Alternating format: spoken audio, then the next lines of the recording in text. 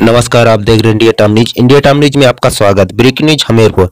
हज़रत मान खां बाबा के मजार पर पांचवा सालाना उर्स मनाया गया।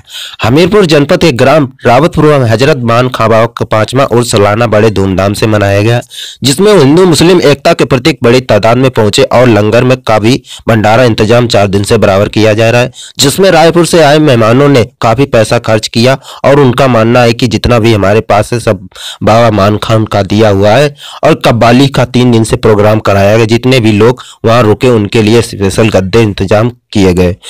लंगर रात दिन, चार दिन से बराबर कराया जाता। बताया जाता है कि मान खा बाबा बारह बारह साल नदी के किनारे बैठकर बिना कुछ खाए पिए। और ऐसे संत हैं जिनकी मिसाल पूरे बुंदेलखंड में जानी जाती। लोगों का कहना इस मजार में जो सच्चे दिल से मांगो हुआ मिलता है।